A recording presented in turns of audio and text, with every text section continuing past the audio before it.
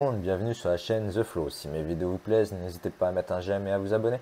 Aujourd'hui, je vais vous parler de GeForce Experience. C'est grâce à ça que j'enregistre mon écran en fait en superposé. C'est vraiment pratique. Donc, euh, une fois que c'est téléchargé, vous appuyez comme il dit sur Alt Z, ce qui ouvre la petite page. Donc, en faisant, vous pouvez faire les captures d'écran en faisant Alt F1, rentrer en mode photo en faisant Alt F2, faire le filtre jeu en faisant Alt F3. Bon, moi j'utilise pas trop ces deux-là, j'utilise juste euh, capture d'écran et pour démarrer ou arrêter l'enregistrement, j'utilise Alt F9. Donc ensuite après, moi j'ai un microphone papillon que j'ai euh, branché et allumé, mais donc du coup sur ça il faut faire paramètres et du coup vous pouvez voir ici, ça fait un changement.